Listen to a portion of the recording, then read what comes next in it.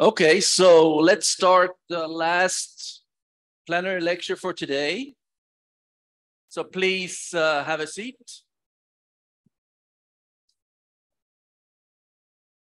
So our next speaker is Neil Ashton. He's the principal computational engineering specialist at Amazon Web Services. Uh, he has an impressive uh, CV with previous positions at Oxford University, NASA Ames, Formula One, Lotus team, and um, his expertise is developing the next generation CFD approaches, including machine learning, high fidelity turbulence modeling, and um, uh, high performance computing, of course. So without further ado, please. Great. Okay. Thanks very much.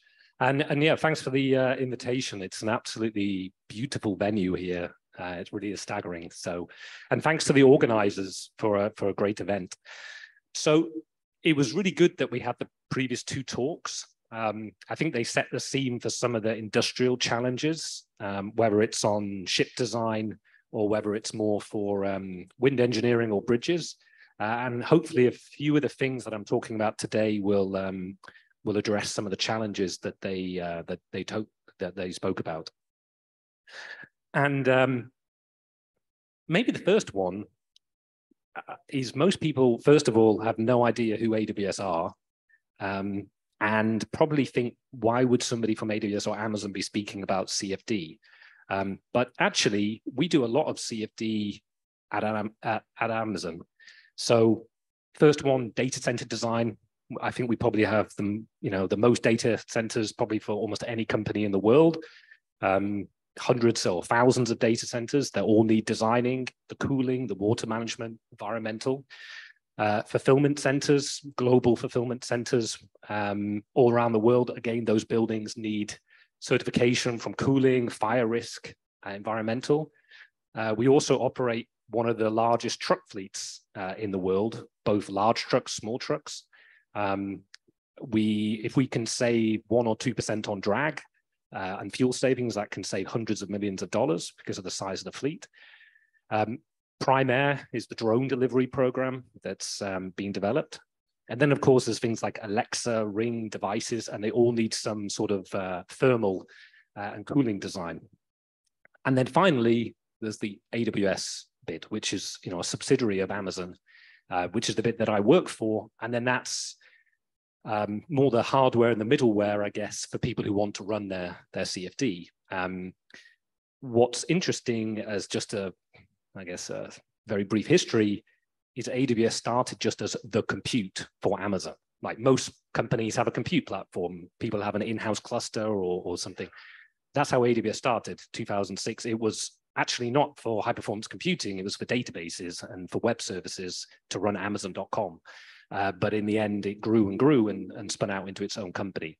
So um, OpenFOAM is actually used quite widely within the company for some of those things that I mentioned just there. So um, even though I'm uh, from AWS, I, I, chair the Amazon CFD working group where all the departments come together who are doing CFD to share best practices and findings. And as I said, yes, we, we use OpenFOAM from many different providers. Uh, some of them are in the room here. So that's just to say that there is a there is an interest um, beyond just AWS of why we want to advance the state of uh, CFD. Um, uh, linking to what was spoken about before, though, um, it's it's impressive to me just how much CFD is being is growing and growing and growing from the smallest companies all the way up to the largest enterprises. Uh, and obviously, that's uh, I don't need to tell people in the room this. That's because there's a ever more challenging um, competitive space for products, whether it's aircraft, whether it's fridges, whether it's phones, whether it's fans.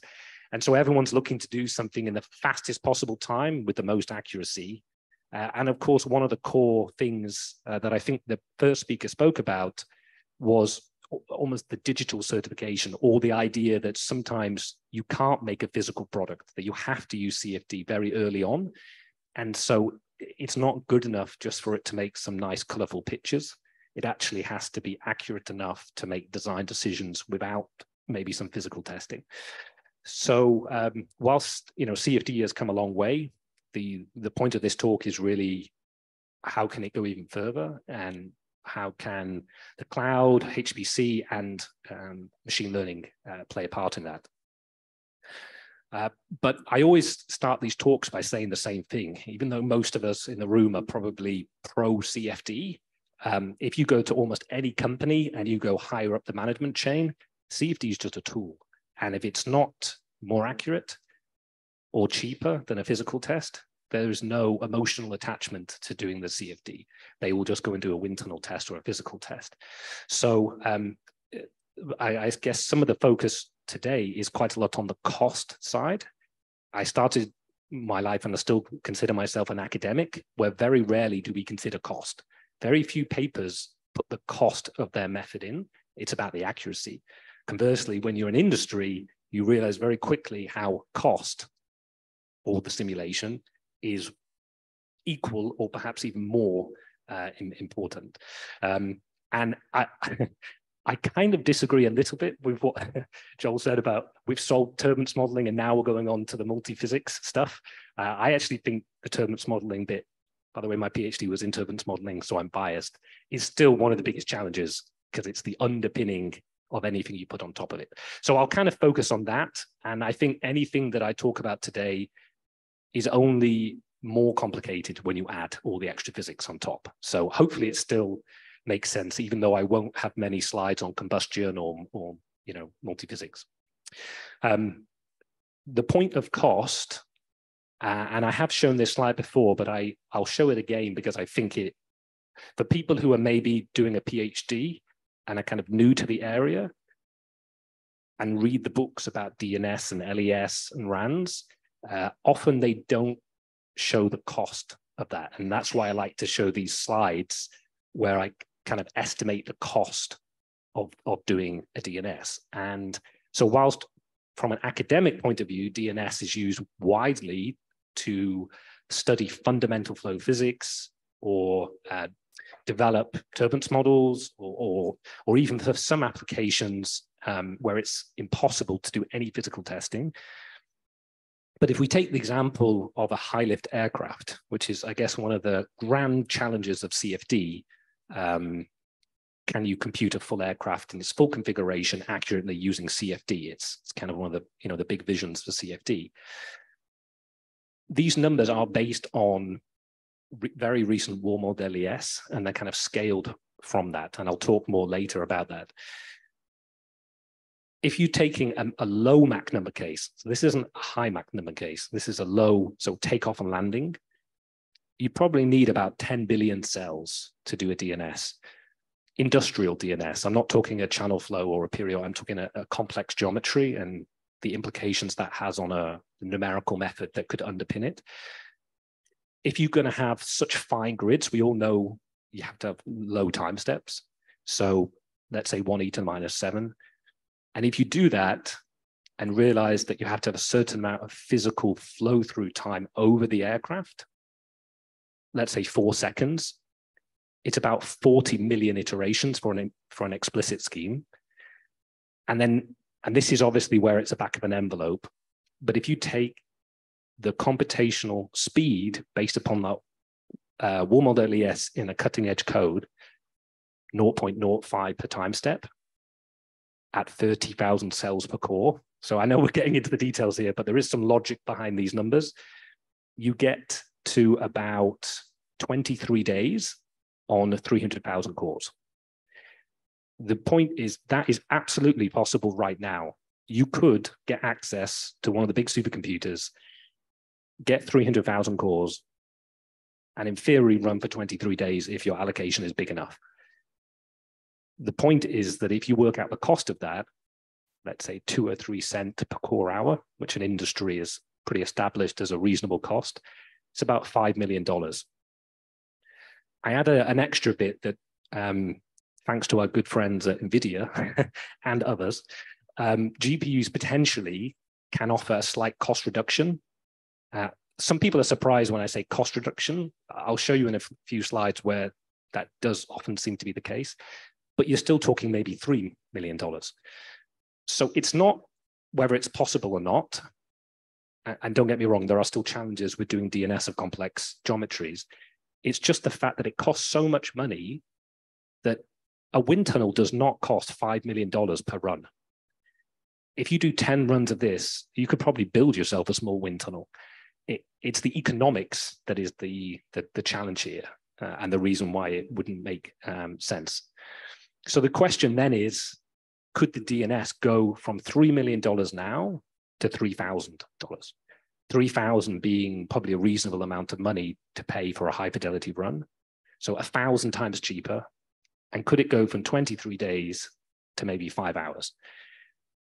Well, it, it's probably reasonable to assume that the work that people are doing here on improving numerical schemes and linear solvers and code optimization could make it twice as fast. I, I absolutely think that's possible.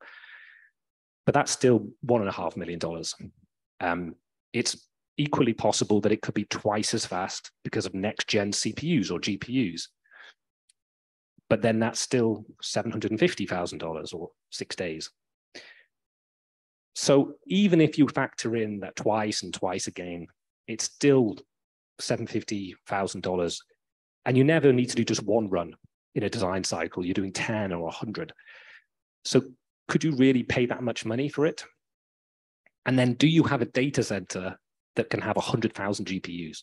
Because every run I just showed you there was 1,000 GPUs, and you've got a team of you know 100 engineers. So I, it's just a practical point that I want to put that um, there is a challenge to using these sort of methods, and that's why the turbulence modeling is so important. Because if we can't do DNS, we have to do something to model the turbulence.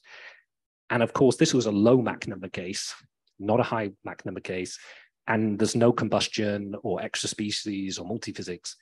So that's why, in my opinion, the turbulence modeling is still a key thing because it's it is too expensive to do the DNS. Uh, I'll, I'll go through these more quickly, but you know it's well known things like LES dramatically reduce the cost down and the time, mainly because your time step can go higher because your grid is a little bit bigger. Um, but it's still you know hundreds of thousands of, of dollars, hence LES still being difficult. RANS on the other spectrum, as you know, the speakers showed, maybe a hundred dollars. I mean, that's why people use RANs. It's, it's just so much quicker, quicker to run, but also cheaper to run. It, it really is compared to a wind tunnel.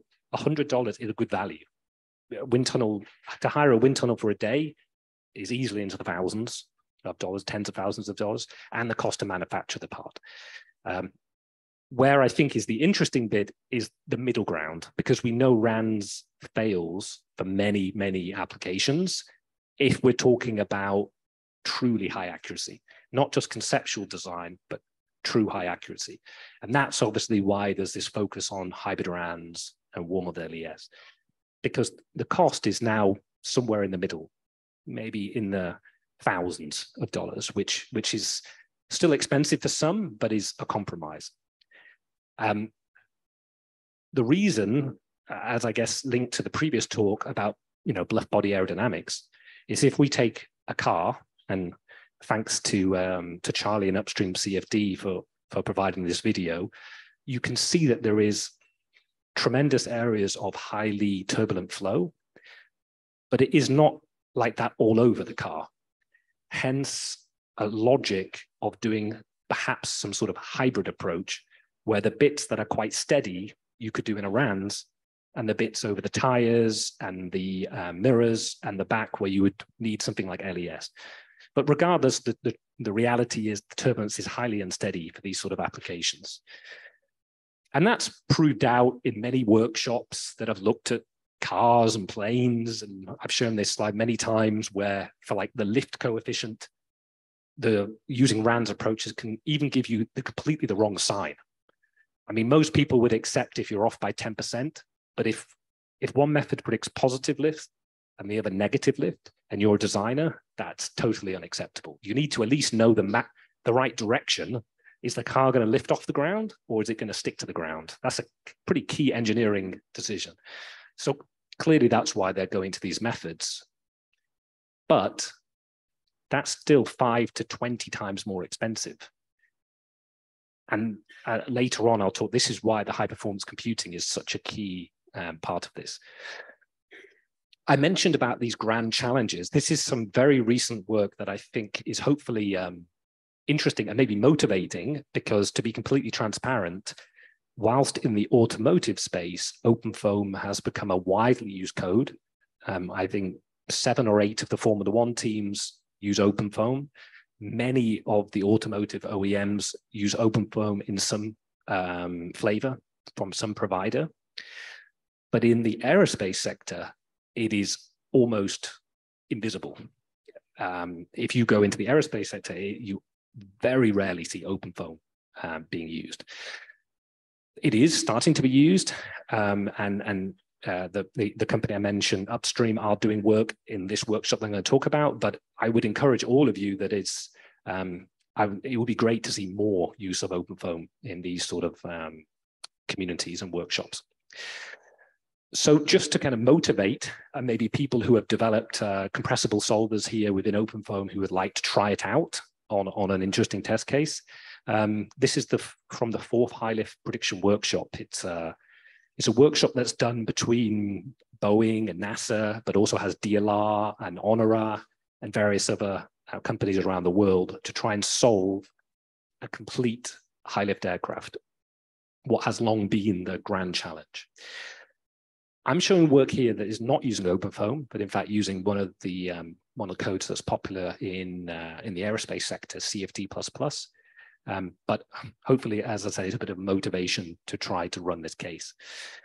The key point is that whilst the automotive space, and I don't know if anybody here is from an automotive OEM, but I'm sure some of you may have worked with them, you'll see many of them have moved to things like hybrid RANs or wall-modeled LES because they do see it as an advantage, even though it may cost them more money to do so. But in the aerospace sector, they still use RANs. And that's because uh, it was deemed too expensive and too challenging to run these sort of test cases. So, so part of this workshop was to, to, to test that out. You can find a lot more information on the actual website. If you Google um, High Lift Prediction Workshop, they have all the presentations, all the slides, all the meshes, and in fact, the meshes that we created for this workshop are all available in OpenFOAM format. So you don't even have to convert them. You can just take it straight. And it's uh, ranges from about 100 million all the way up to about 600 million, uh, both free air and including the wind tunnel, because uh, as you'll see for this test case, it is actually important to model the wind tunnel. I can probably skip over this a little bit, um, but just to uh, just to say what it was, we were running hybrid RANs LES um, using best practices in terms of low dissipation, um, and importantly, running them for long enough that they're time averaged. This is it's not just the size of the mesh that is the reason for HPC; it's the fact that you have to run it for so long. Uh, people in combustion know this, people in other fields, but even for external aerodynamics, it's the real uh, challenge. So that, that's that's kind of a slide just to show how long you have to run forward to get the time averaging. The one of the reasons that this hasn't been done by many people is because of the computational cost. Um, that's obviously part of the angle of AWS trying to help here is to unblock that. Um, I won't go through all the, the, the details, but I guess the main point is every one of these simulations there's seven angles of attack. So people who are uh, in the aerospace sector know that when you have an aircraft in a wind tunnel, you don't just go straight to 21 degrees. You pitch, pitch, pitch, pitch, pitch until you get to that. So in CFD, you also have to move up. So there was seven discrete angles of attack, and the cost was a lot. It was about 2 million core hours just for one run of which contains seven angles of attack. So 2 million core hours for the hybrid RANs and about 200,000 core hours for the RANs. So you can calculate that based on the number of cores. That's quite a lot of time. And that's just for one run. And that's why we were you know, providing access. I think at one point we were running about 40,000 cores because we wanted to test different turbulence models and different meshes. Um, what's interesting, and just uh, I'll just comment on this just for a few moments, is the effect of wind tunnel modeling. If you do this in free air, so you you've got an aircraft, and I'm saying this just in case any of you are motivated to join this workshop. This might be just a, a bit of a nugget of information um, that, that might be useful. If you run this in free air, there's actually some points where the RANs do a better job than hybrid RANs LES, which, which kind of um, perplexed us at the beginning. But what we found was that actually, once we modeled the entire plane in the wind tunnel, we managed to get much better correlation. And in some ways, that's quite obvious because in this test, the wind tunnel, the plane is mounted on the bottom of the wind tunnel. It's a half model, and it's literally like this. So you have a floor boundary effect. And so if you model the wind tunnel, you get the effect of the blockage from the wall. Whereas if you try and model it just in free air, you, you never get that that, that blockage effect. Um, so in this case, then the hybrid improves. And this was interesting because if you look at this result, even if you go into 600 million cells, the RANs fails to capture the separation. That's why at companies like Boeing or Airbus or any others, for high lift design, they don't use CFD really. They use wind tunnels. With this work, if the mesh is fine enough, so about 300 million cells, you can almost get exactly on the experimental line. And I'm not just cherry picking results here. This was shown by other participants as well, and has really been a um, a turning point potentially in CFD being used for these high lift. But as I mentioned, the computational cost is the issue. And these are actual numbers which in a sense uh, prove the previous numbers I had that it's about $7,000 to do that, that um, case. But it, you know, it, it might take several days to run on a few thousand cores. So it really is quite a step change from a company that let's say does RANs and it maybe takes eight hours to solve on 128 cores versus needing 5,000 cores running for two days the issue then is how do we um, overcome that? You, you may say, well, that's just one code. How about the other codes? Well, actually, it was quite similar. And I'm not, we've anonymized the results. That's part of the workshop. We give people some level of anonymity, but it's similar. It's about seven and a half thousand for one participant, about 6,000 for another. Um, but interestingly, and this is my comment on the GPUs, the, the code that was using a GPU solver was only about two and a half thousand dollars. So where does that come from? Because most people think GPUs cost more than CPUs. Well, we did some um, work with a company out of Bristol, Zenotech, and you can kind of ignore the um, the letter soup that is AWS in terms of how we name our instances. But essentially, what you can look at is that graph is for a full aircraft at this time an Airbus type aircraft. And the y-axis is iterations per minute. So, you know, the bigger the better. And on the bottom, it's CPU nodes and GPUs. I, you have to scale it this way just to make the graph look right. So CPU nodes, as in 60 CPUs with 36 processors per node, but the GPUs are the individual GPUs. So I know that might sound a bit complicated, but it's if if you don't do it that way, uh, it would look weird because the GPUs would have so little nodes and the CPUs have so many that the graph just looks odd. So the point is the GPUs, which is the red, gives you quite a jump in performance over the CPUs of various different flavors.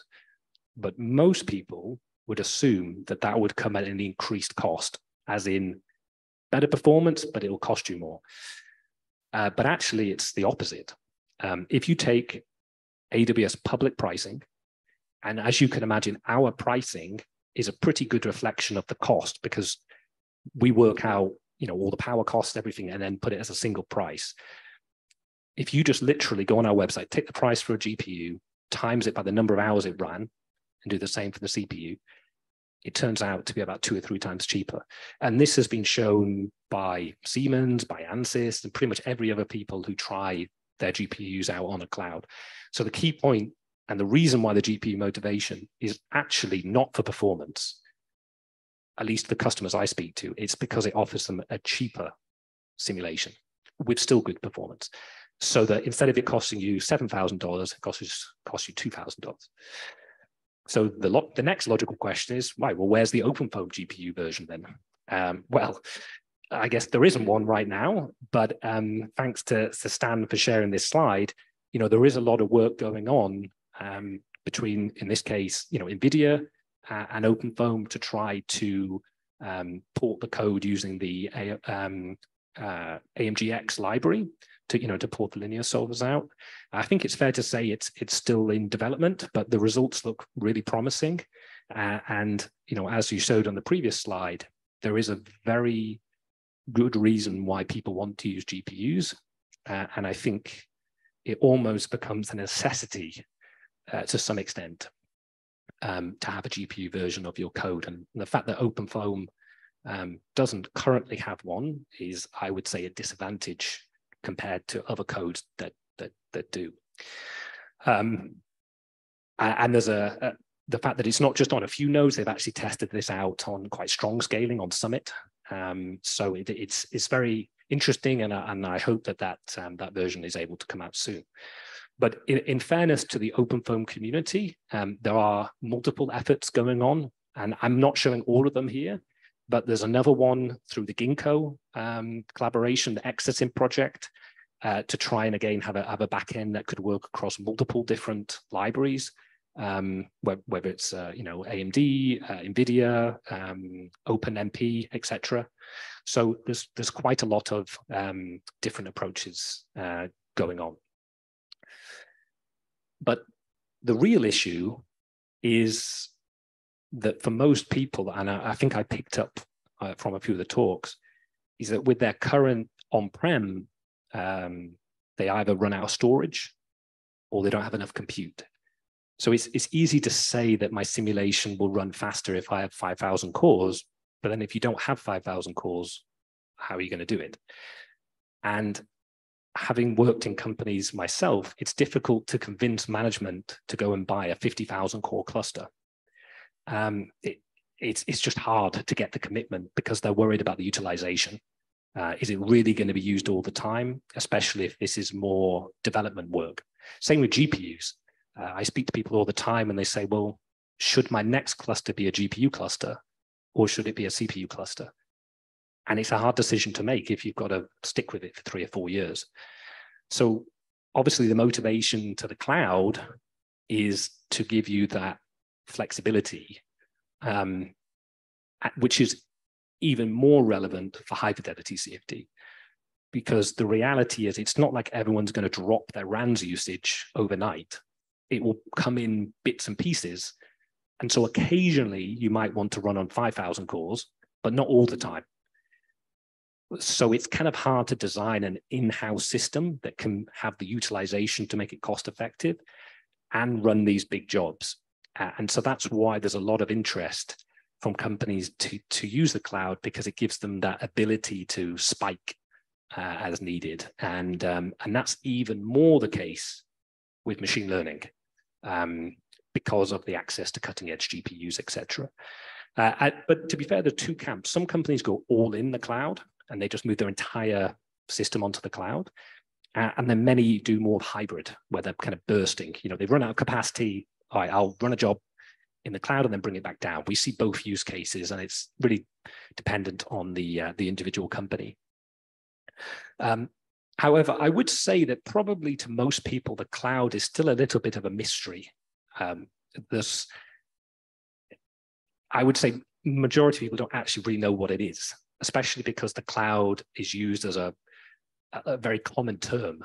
Uh, if you have on your iPhone, you know, there's a cloud thing there every single company has a cloud thing. So it's kind of a little bit mysterious of what it really is. Um, but from an AWS point of view, I mean, the cloud is essentially pay as you go access to compute and storage and services on top. And I'll mention that in a minute. But to give an idea of the scale, I mean, this slide gets old literally every week, but we have about 31 regions right now and a region is just like a geographic area where we have resources. Each region typically has three or four separate, what we call availability zones. What that basically means is a an ability in case there is a massive uh, flood or a power issue that you could fail over. Each of those availability zones has many data centers. So if you do the maths in your head, you can see that there's hundreds of availability zones, potentially thousands of data centers, and every one of those data centers has hundreds of thousands or millions of compute cores and storage. So uh, the amount of compute available on the cloud, it is fair to say it is virtually unlimited because it's such a massive number that it's unlikely you would ever um, use it. Also, from a storage point of view, that's true. We have actually quite a few individual customers who have more. Th- am I using the right term? Is exa exabits or whatever that storage amount is, um, exabytes of storage just by one customer. I won't say the name, but it's uh, a company that you would know quite well.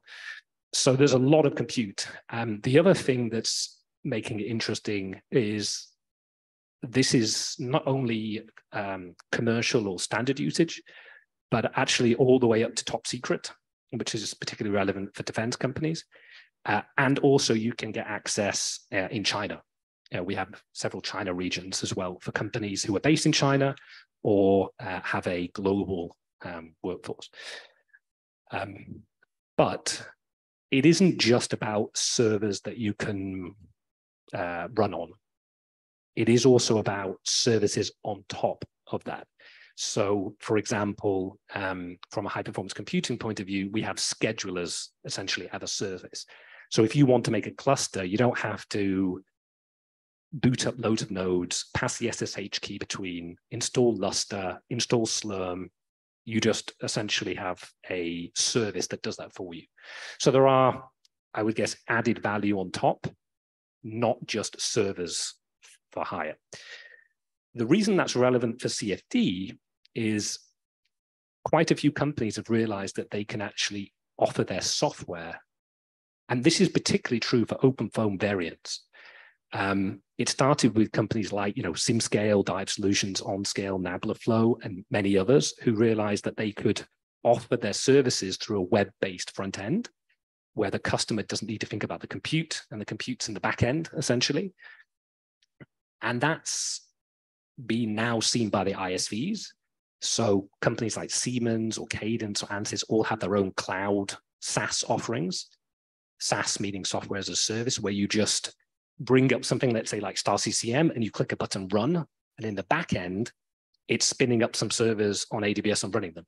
So that's what we call by a SaaS. And that's if you're developing a code, it's a nice way to give it to people without them having to take a binary, install it, and all that. So that's um, been interesting. And for people who are more into the CFD um, community and see what's going on, there's also quite a few brand new startups with quite significant funding from venture capitalists that almost all of them offer it primarily as a cloud-based platform.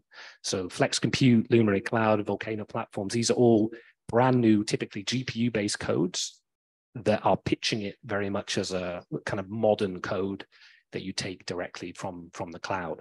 So I, I'm trying to be as, um, I guess, I'm, I'm not trying to sell you the cloud, I'm just telling you the reality of what the companies are using it for. It's not just service for hire, but it's a way of distributing your uh, software that it, to be fair, there are also companies on top of that who offer some sort of ability for you to run multiple codes. So Rescale, probably a lot of people have heard of, UberCloud, Total CAE, or even like Ruggiero, who's here, who has his own cloud-based, you know, consultancy company where you can use it. So, you know, there's a lot of reasons why the cloud is becoming appealing um, to, to, to academics.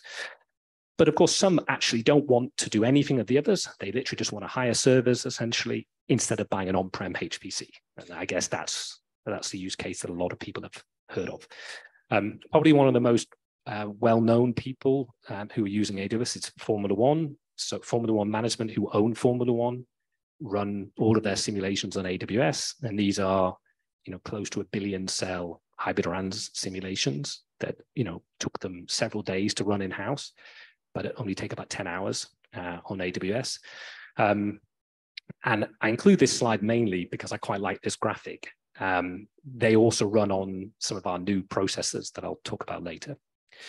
Um, but maybe don't believe just me. It's interesting to give examples of other companies that could very well just use an on-prem system. There's there's no uh, they would only use the cloud if it kind of made sense for them to do it. Um, and this is an example from Upstream CFD, um, who I think are you know a kind of OpenFOAM partially based consultancy, who are, have a historic history of providing more turbulence modeling and specialist uh, capabilities they ran that DrivAer that one I mentioned right at the beginning, that automotive case, uh, and they were interested to study it, partly um, to help towards the community, uh, but it was also its good excuse to try to run it on um, on the cloud and see if it would help. Now, if you're not into the cloud, you're probably wondering what the hell is this? But this is the equivalent of showing, I don't know, equations on your graph. If you go to any IT or tech conferences, architecture diagrams are the kind of standard thing to show because when you use the cloud, it's lots of little services that you typically put together and all through APIs. So essentially, you're able to communicate between all these individual services and build up a workflow that you can fully template. And so I won't go on there. I'd encourage you to go and speak to some of the upstream folk if you want to learn more about it. Uh, but the point is that it, it you can essentially link things like S3, that is the storage, with things like um, the ParallelCluster, that's the compute orchestration, and many others, and, and link them all together to build this really complicated uh, workflow. The main reason I mention this is just on the slides, because I guess there's still a, a perception that the cloud is actually not fast enough or cheap enough to be used for high performance computing, that it's essentially fine if you're just running a single node but if you want to run anything bigger, then you know you need to have an on-prem system, uh, and that's that was true probably about five years ago. To be fair, um, now absolutely not the case. You can match the performance of almost any on-prem system um, with um, with with a cloud provider. Um, sometimes the cloud may be faster, sometimes it may be slower. Um, there's I can't remember his name, Jack. I should know his name. He's one of the you know major people in HPC he actually put an article recently that very accurately said that the R&D budget of the hyperscalers far exceeds any traditional um, kind of hardware company, maybe with the exception of NVIDIA. Uh, um, but it really is, you know, building a lot of hardware. So the technology is moving on, you know, pretty quickly. What this graph shows you is just the number of cells per core that you can scale these applications to. Uh, and it really shows that you know 50,000 cells per core or lower, you can still get good scaling. But the point is often on the cost. And so this was talking about, you know, the different cost of instances, etc. This is more just to motivate you to maybe have a look at this stuff. Uh, we don't really have time to dive into it too much detail because I did want to cover another topic. Um, one of the things, though, I guess, which is our investment in things like CFD, is we actually, whilst we also have Intel, AMD, NVIDIA chips. Uh, we also have our own. We design our own based on ARM, uh, ARM architecture, which we call Graviton. And uh, you know, I'm part of the team that, that works on these sort of things. And we design this almost principally for CFD and weather in mind. So we benchmarked OpenFOAM lots developing these instances.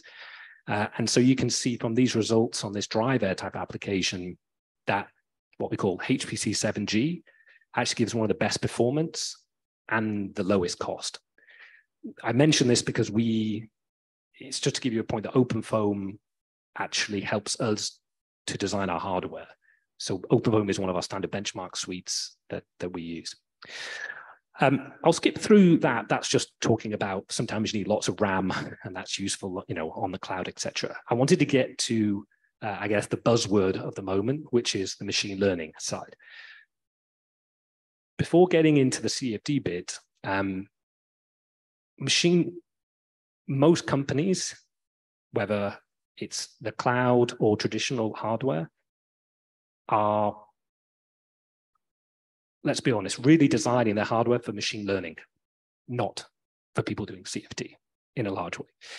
That's just the reality. Um, what we can do is take advantage of that hardware, of course, but the huge rise in GPU performance is not because of CFD, it's because of machine learning. Um, we have customers running, or you, you would not believe how many GPUs are used by machine learning customers. It is tremendous growth. It is not just a buzz, it is genuine. It is absolutely massive. Um, but we can take advantage of that development from hardware, software for potentially for CFD. Uh, and as you know, there's many different ways that machine learning could be used for CFD. You could use it to help build a turbulence model better, improve coefficients. You could do it to cluster results, whether they you know, match a certain pattern. You could go all the way and use uh, computer vision technologies to learn from images, input to output. Uh, or you could try and learn the PDEs directly. There are many, many different areas that it could be used for. And of course, you almost need a talk of its own um, to, to go through there. But the key point is this, you need data. And as one of the speakers said, storage is the issue. That's one of the reasons that people tend to like the cloud for machine learning because they don't have a data issue. And if you run all your simulations, you can save it and then pipe it into a machine learning uh, pipeline. Um, I'm not the expert in this, but we are trying to support the, you know, the data science and machine learning special interest group uh, that Andrew and Thomas are, are running. Um, and so I definitely encourage to speak to them. I think it's a great area to be involved in. Um, I don't know if this video is showing. Oh, yes. This is a great example of embedding machine learning within an OpenFOAM type simulation. So this is active flow control over these pins. And as you notice in a second, once they start spinning, just how much the separation um, reduces behind. And this is using reinforcement learning within OpenFOAM. Uh, and we help give them uh, access to AWS. So for their recent hackathon, everyone could be coding up and running this uh, and not be bottlenecked by the, the compute. But the, the final thing I wanted to go through was the example of deep learning for CFD. So this, this one idea of could machine learning be used as a uh, like a surrogate model to do conceptual design? So uh, honestly, like a RANS-like thing. And I wanted to show this quick example that we did internally just to really prove a point of why this is interesting. So in this sort of example, it's the idea that if you've run lots of simulations, you could learn from those prior simulations, train a model, and then give a new geometry, whether it's a car, a bridge, a boat, and predict that, but the inference would only take a few seconds. So, so how does that work and why does this link to the greater use of sort of higher fidelity uh, CFD? Well, the example I'm going to show is on this DrivAer case that I frequently show. And so for this, um, we ran about 30 different car shapes but we ran them all with a high fidelity setup. So it's about 300 million cells, 10,000 cores for 24 hours each.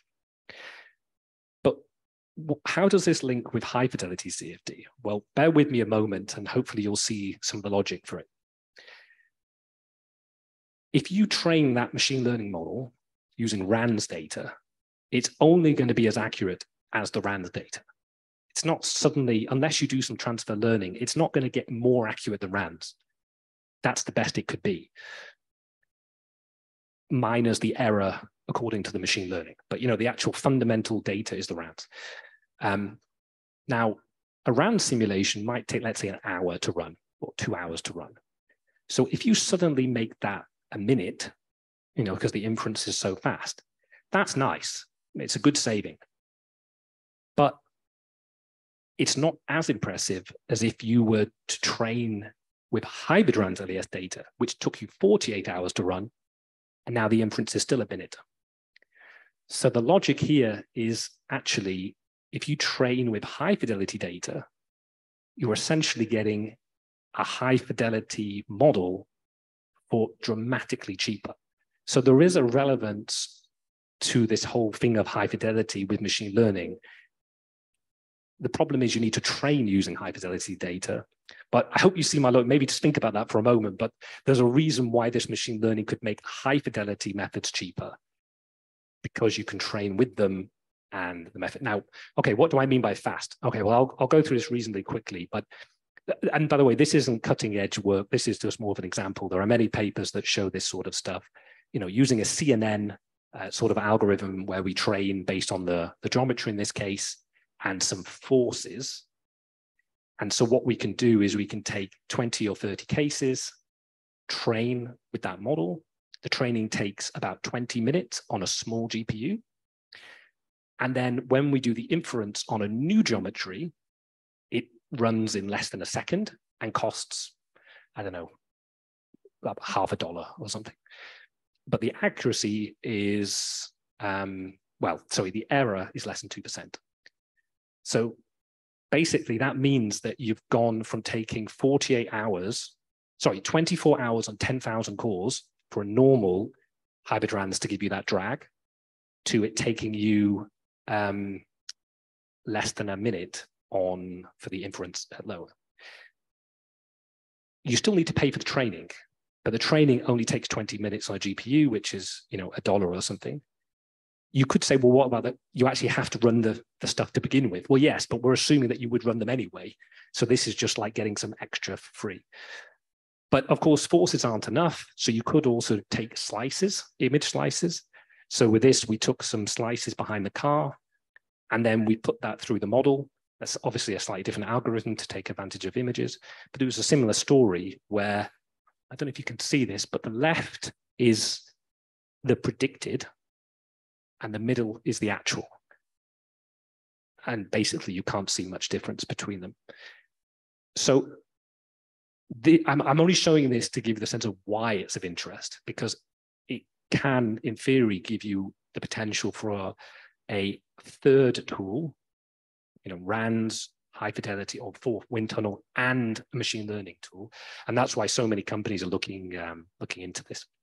So I know that was a lot to get through. So um, in summary, I think you can never just talk about accuracy or cost or runtime. They all come together. I think HPC genuinely is a bottleneck that can be unblocked with advances in high performance computing and the sort of cloud access. I would say the cloud access is also a democratization because anybody who has a credit card can get access to that compute. In the past, you'd have to, particularly for let's say a startup, you'd have to have the ability to build a big supercomputer. Now you don't. You just can just take a credit card and pay for it. Um, I think it's exciting times for machine learning and CFD, um, but there's limited examples of scale. Um, but I think it's fair to say that cloud does give you access to GPUs and the compute, which kind of unblocks that side of it. But uh, with that, um, yeah, thanks very much.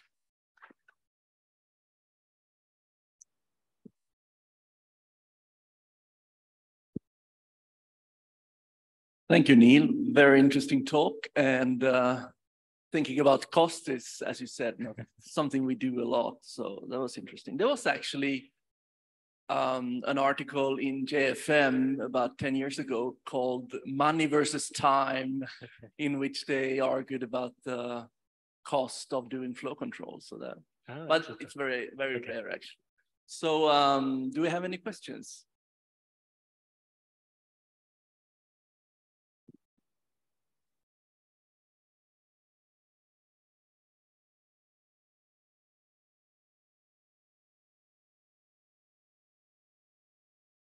Sorry.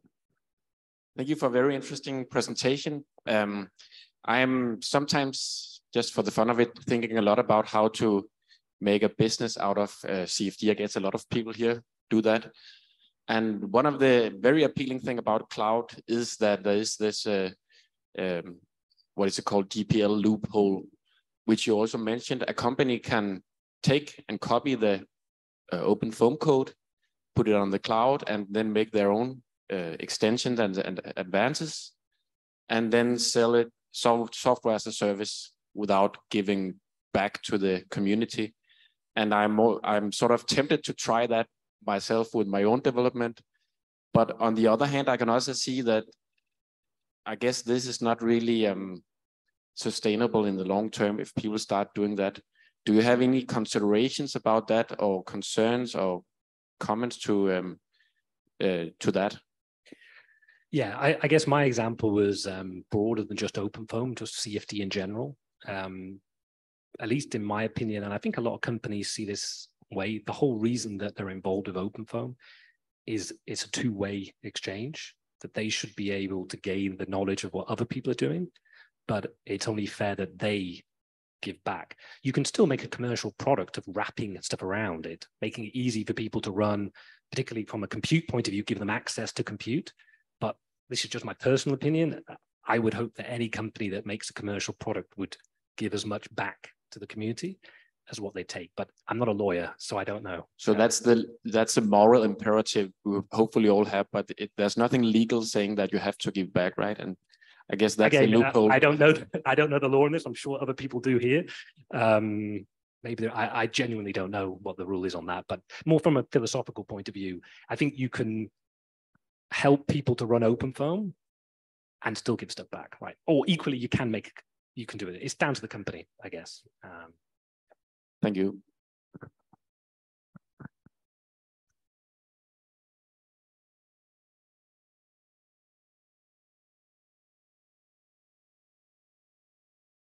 Thank you. Very good presentation. Um, like the machine learning people really seem to like their half precision or even lower by now.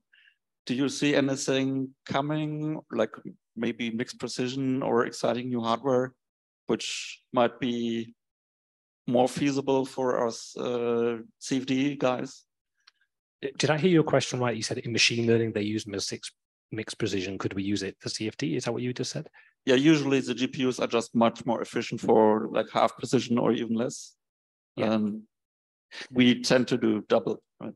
Well, um, yes, that that's true. Although, um, and I, I, suspect there are people in the room who work with them. If you work with a Formula One team, actually, uh, most you may be surprised, most of them use single precision, not for the meshing, but for the solving. They actually use single precision for the solving and maybe mixed or double for the meshing but it's so much faster in OpenFOAM um, that many of them already do take advantage of single or, or mixed precision. Um, now, obviously there's an impact potential on the accuracy, and maybe that is more relevant for, let's say, single phase external aerodynamics with high Y plus. Um, but yeah, people are already doing it, and um, yeah, I'd say they're already doing it. Yeah, thanks. Good question. Other questions? Yeah.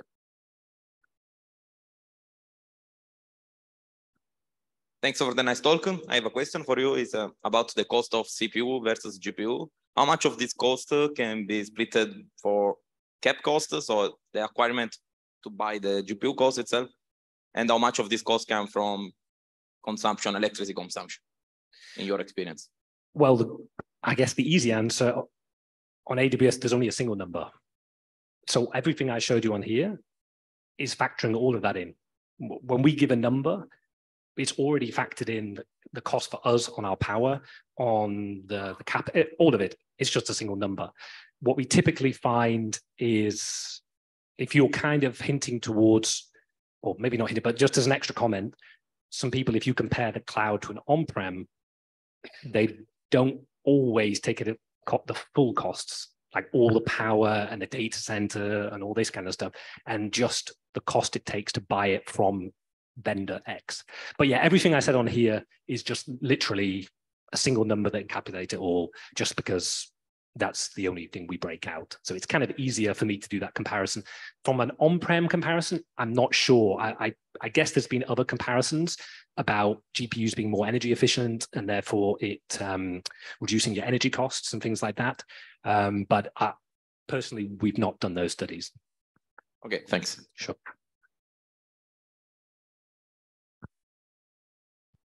Other questions?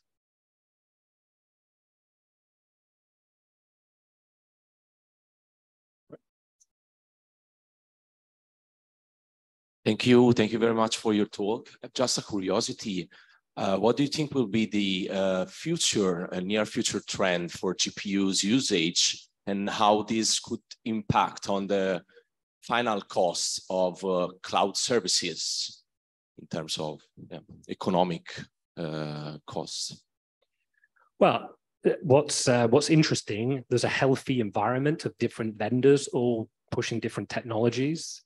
So um, it's the truth is it's actually genuinely quite hard to know because on one side you have the advance on the GPU side with obviously the AMD, um, sorry, the NVIDIA GPUs and the, you know the new one that's just come out. Then you've got AMD GPUs which are coming out. Um, from the others, you've got a lot of this high bandwidth memory uh, and sort of 3D stacking on CPUs. And then you've got things like joining the GPUs and the CPUs together. It's it's it's kind of hard to know because um, until they come out, we never truly know. Uh, and sometimes something's announced and then it gets dropped, and then you know. So it's I think it's a good thing for everybody here that there is a very healthy ecosystem in developing things. Um, what's nice to see as well, both ourselves, um, companies like NVIDIA, and also the European project is around ARM uh, architectures as well. There's a real growth in that, and that's good from an energy point point of view. So it's yeah, it's not clear where it's going to be actually, but all of it will be faster performance and I think lower cost. So it should be a win-win. Thank you. Thank you very much. Sure. Okay. I think we finished the questions.